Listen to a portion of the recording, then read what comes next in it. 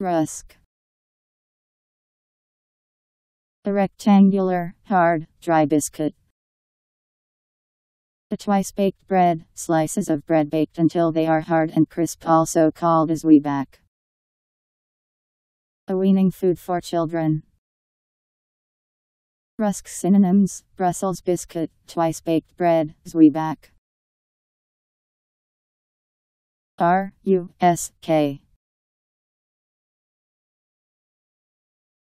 Rusk